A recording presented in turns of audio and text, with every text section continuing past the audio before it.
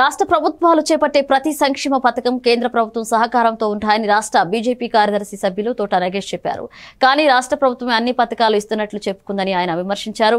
విశాఖ జిల్లా పాయకరావుపేటలో ఆయన మీడియాతో మాట్లాడారు.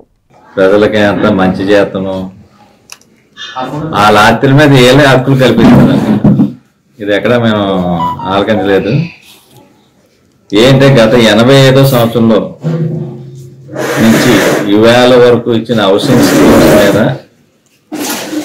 కొన్ని వేల లక్షలు ఇల్లు ఇవ్వడం జరిగింది.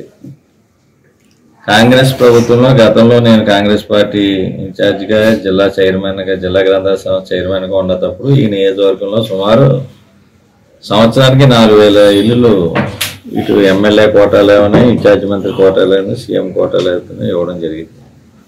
ఇది ఒక్క ప్రాంతానికి కాదు. అంటే ఆ విధంగా లెక్కేసుకంటే ఒక్కొక్క డివిజన్లో సుమారు మూడు లక్షల రూపాయలు మూడు లక్షల మా- ఒక డివిజన్లో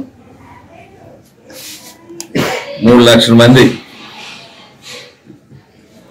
జిల్లాకి జిల్లాలో మూడు లక్షల మందికి హౌసింగ్ స్కీమ్స్ ఇవ్వడం జరిగింది. గత ఎనభై ఐదు నుంచి పదిహేను ముప్పై దగ్గర ముప్పై సంవత్సరాలు.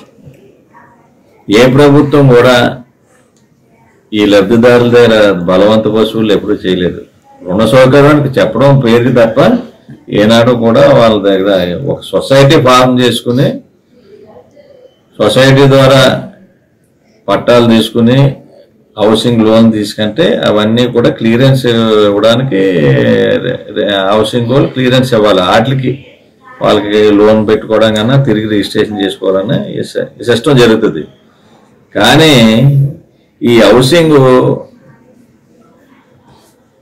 ఈ ప్రభుత్వం వచ్చిన తర్వాత పట్టాలు ఇవ్వలేదు ఏవో పట్టాలు మొన్న ఏదో స్కామ్ అనుకోండి పట్టాలు ఇచ్చి ఇవన్నీ కూడా స్కామ్ అది.